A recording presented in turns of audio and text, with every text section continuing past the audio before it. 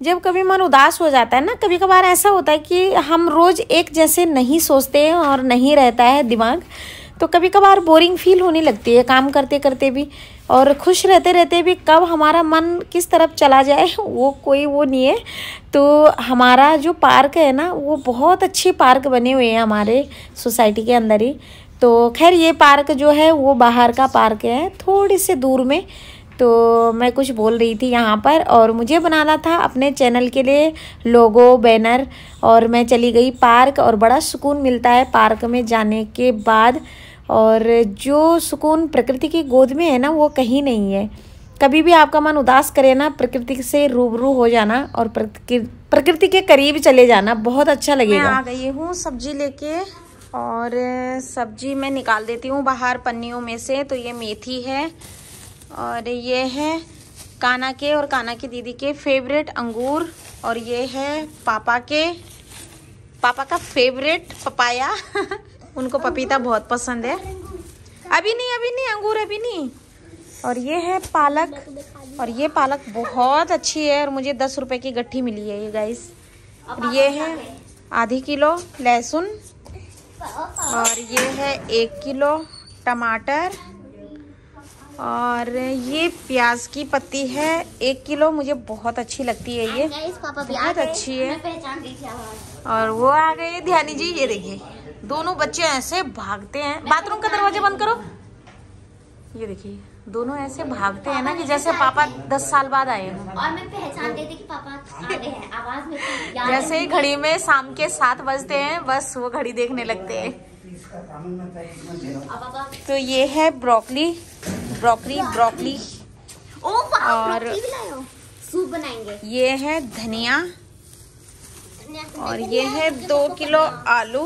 अब हम broccoli soup ये क्या है? ये आधा किलो बीन्स।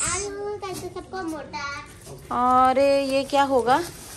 ये हाँ ये आधी किलो गोभी है। गोभी मुझे इतनी पसंद नहीं आ रही अब। ये क्या है? अच्छा ये मूली ये क्या क्या है अभी? ओ। ये है गाइस मूली, अरे।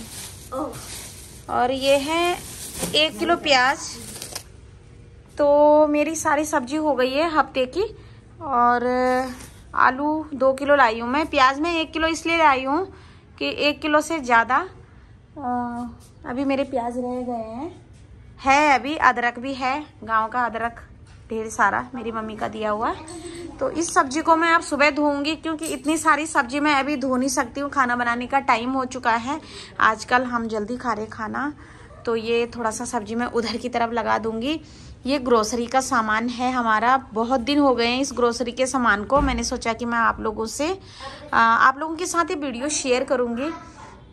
और इसलिए शेयर करूँगी कि सिक्स मंथ का हम जब ग्रॉसरी रखते हैं तो बहुत फ़ायदा होता है गाइस हमारे बजट में भी और हमारे जो हम थोड़ी थोड़ी चीज़ें लाते हैं ना तो उनमें कितना ज़्यादा पैसा जाता है और अगर हम सिक्स मंथ का एक बार ले आए ना तो बहुत अच्छा रहता है, उसमें हमारे पैसे भी बचते हैं। तो ये ज़रूर मैं वीडियो बनाऊँगी और कहाँ से लाती हूँ, हम होलसेल मार्केट से लाते हैं होलसेल मार्केट यानी कि हमारा जीएसटी कार्ड बना हुआ है तो अपने जीएसटी नंबर पे लाते हैं हम लोग। आ, एक मॉल है अक्षरधाम मेट्रो स्टेशन करके है ना यहाँ पे। तो वैसे तो लॉट्स होलसेल सोल्यूशन जिन जिन शहरों में होगा ना तो वहाँ मिल जाएगा आपको अगर आपके पास जीएसटी नंबर होगा। तो ना हमारा कार्ड बना हुआ है। जीएसटी नंबर चाहिए होता है। जीएसटी नंबर उनके पास होता है जिनका अपना बिज़नेस होता है। तो हमारा अपना जैसे काम है तो हमारे पास जीएसटी नंबर है। जीएसटी भरते हैं ना जैसे लोग तो जीएसटी नंबर मिलता है। तो डायरेक्ट फैक्ट्री से ना होलसेल सोल्यूशन में आता है ये आ, राशन जो किरियाने के दुकान वाले होते हैं ना तो वो भी इसी फैक्ट्री से लेते हैं। तो ये डायरेक्ट फैक्ट्री से वहाँ पर आता है माल और तब उठाते हैं हम। तो जैसे दस पंद्रह हज़ार का उठा लिया एक बार और फिर छः महीने बाद या साल भर बाद ही हम जाते हैं बार बार नहीं जाते। और ना हम किरानों की दुकान से और लोकल मार्केट से मॉल से, यहाँ से कभी नहीं लाते सामान। डायरेक्ट फैक्ट्री से आता है ये और वहीं से लाते हैं। तो ये दो कट्टे चावल के दिख रहे होंगे आप लोगों को। एक मैंने अपना बीस लीटर वो जो बीस किलो का क्या है वो? ड्रम है तो वो भर दिया है। और अभी ये जैसे ये चावल का कट्टा तो जैसे ये चावल का कट्टा कितने का है यहाँ पे? पच्चीस के जी का है ये। तो कितने का है ये? ये तीन हज़ार पचास का है ना जैसे? तो हमें कितने का पड़ा वहाँ पे? उन्नीस सौ रुपये। उन्नीस सौ रुपये का पड़ा। हाँ विद जीएसटी उन्नीस सौ तीन रुपये का पड़ा। और ये मार्केट से लाते हैं हम तो तीन हज़ार का पड़ता हमें। तो यही फ़ायदा होता है बहुत फ़ायदा होता है। यानी कि अगर हम आ, मार्केट से बाहर से अगर इस सामान को लाते तो ये बीस हज़ार का पड़ता हमें। और वहाँ यहाँ से ये सामान हमें ना पूरा तीस हज़ार का पड़ता क्योंकि बहुत सारे ढेर सारे साबुन है और बर्तन धोने के कपड़े धोने के बहुत सारी चीज़ें मैं कल आप लोगों के साथ शेयर करूँगी। और वहाँ से पड़ा हमें कितने का? ट्वेंटी थाउज़ेंड का सामान पड़ा ये हमें।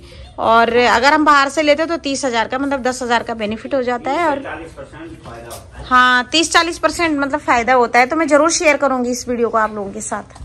तो चलिए गाइज़ अभी मैं बना देती हूँ खाना और सब्ज़ी। ये देखिए ये स्वेटर उतार के हटाया है और पढ़ाई नहीं कर रही है। चलो पढ़ाई करो। जैसे ही पापा आए चलो चलो पेपर चल रही है ड्रामे बजे नहीं। चलो। हाँ रोटी बनाएगा तू बेटा जिस दिन रोटी बनाने लायक होगा ना उस दिन बनाएगा नहीं। चलो। तो गाइज़ मैं सब्ज़ी मंडी से सब्ज़ी ले आई हूँ और बहुत थक चुकी हूँ तो अभी बनाना है खाना। अभी ध्यानी जी आ गए उनको चाय पानी पिलाना है। और फिर फटाफट से खाना बनाना है। आजकल हम जल्दी खा दे रहे हैं। मतलब सवा आठ साढ़े आठ तक हम खाना कंप्लीट कर दे रहे हैं। तो चलिए थकेंगे चाहे कुछ भी होगा काम तो करना ही है। कौन करेगा? अब वो दिन गए।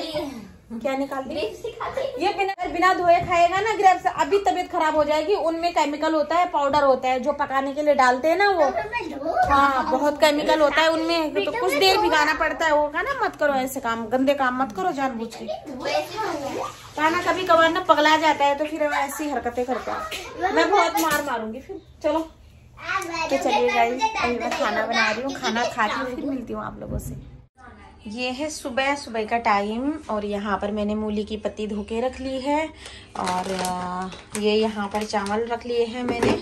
तो अभी मैं चावल बना रही हूँ और ये रख लिया है मैंने दाल तो दाल धो के रख रही हूँ मैं और अभी बना देती हूँ मैं खाना फटाफट से क्योंकि मुझे करनी है एडिटिंग और